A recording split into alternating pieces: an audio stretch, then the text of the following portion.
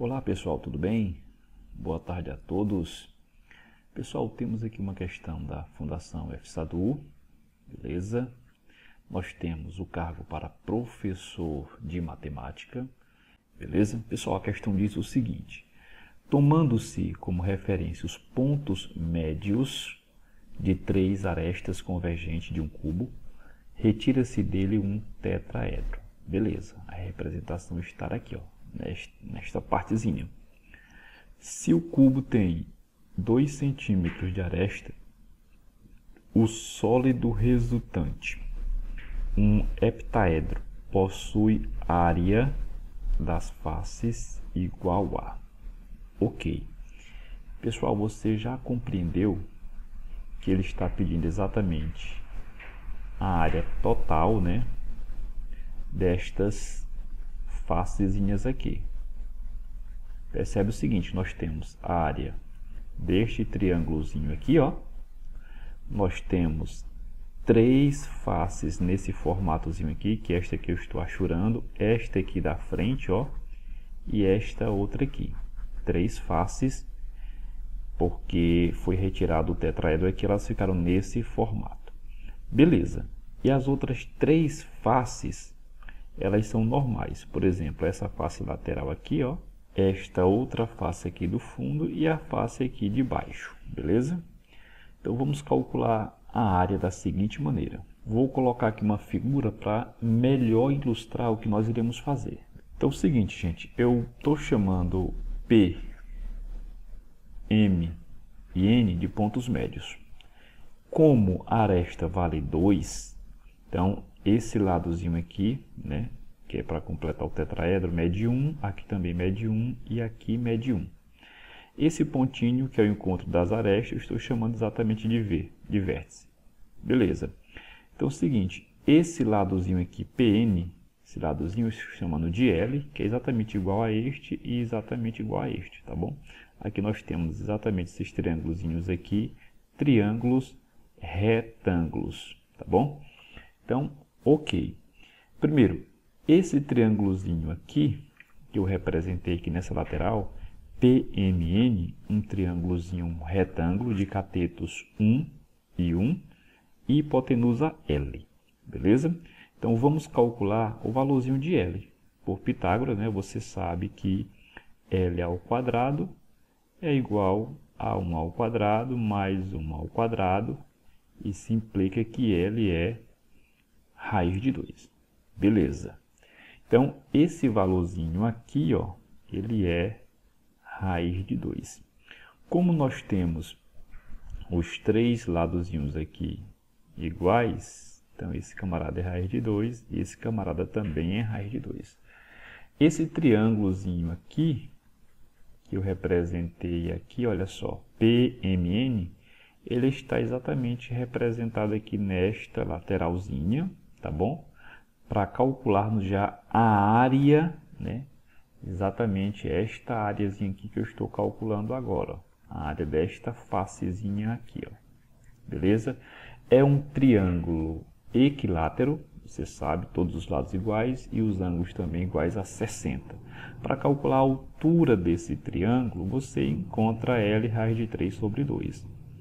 Ou seja, você vai encontrar raiz de 2, que é o lado, né? Já foi encontrado aqui, ó, o Lzinho aqui, que é raiz de 2.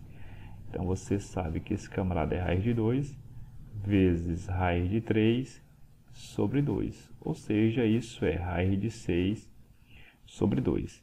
Para encontrar a área que é o que eu desejo. Pessoal, você pode usar Pitágoras né, para você encontrar a altura tranquilamente e você pode usar a formulazinha de área do triângulo, né?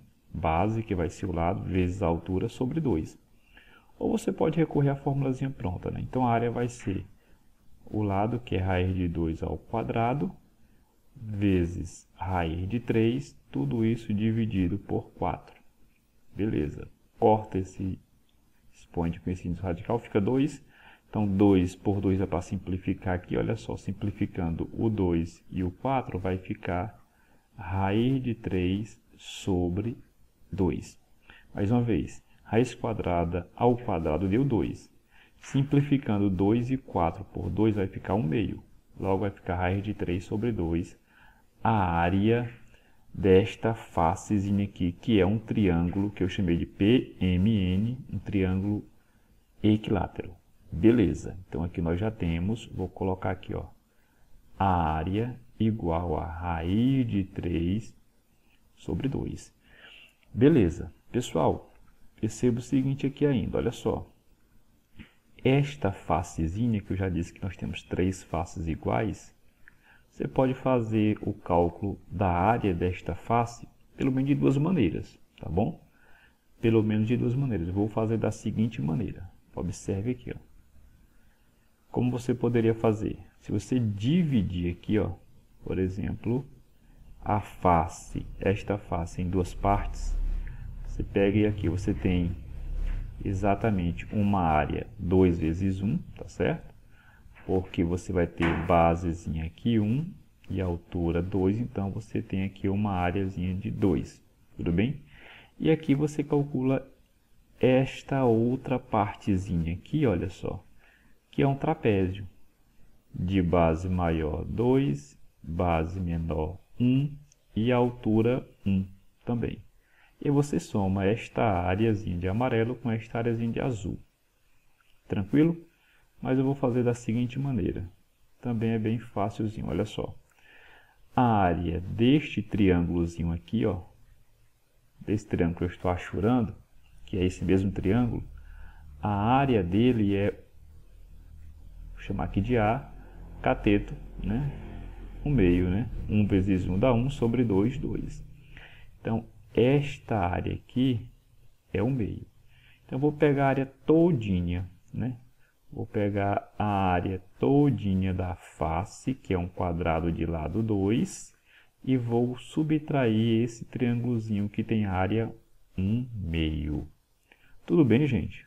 Qualquer coisa você dá pausa aí no vídeo, tá bom?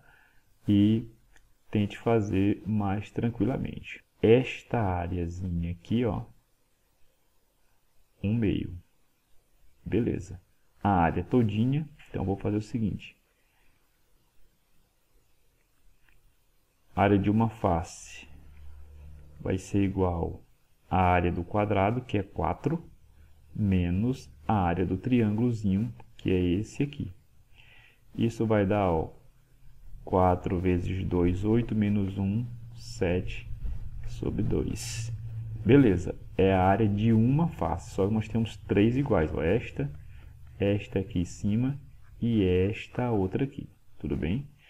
Então, nós vamos fazer 7 sobre 2 vezes 3.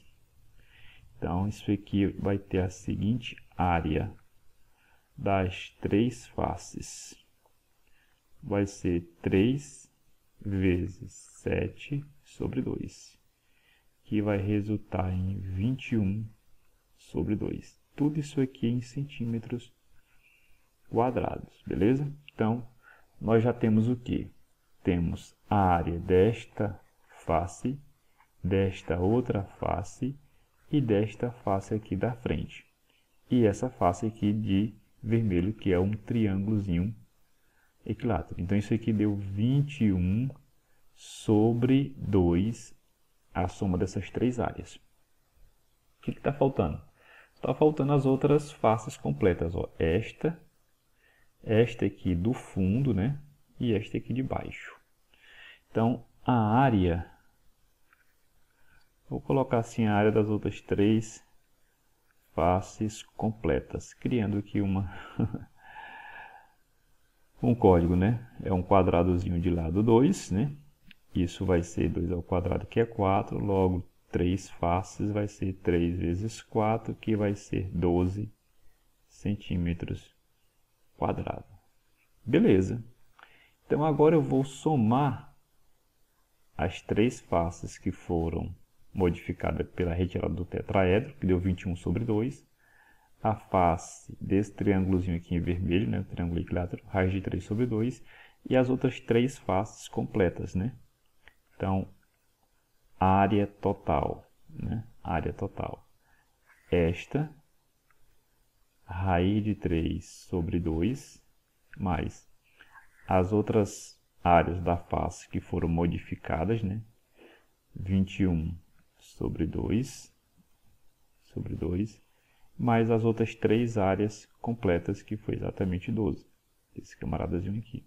Isso vai dar ó, denominador comum, 2, 2 vezes 12 aqui, ó, 24. 24 mais 21 mais raiz de 3. Então, isso vai nos dar o quê? Perceba o seguinte, pessoal. 24 mais 21 vai dar exatamente 45 mais raiz de 3, tudo isso aqui, 2, e isso está no item, no item C, 45 raiz de 3 sobre 2. É o nosso gabaritozinho, tá bom, pessoal? Lembrando que aqui, essa área das três faces né, modificadas ficou 21 sobre 2. Eu tinha... Beleza, então é isto, pessoal. Bons estudos, boa aprovação. Valeu!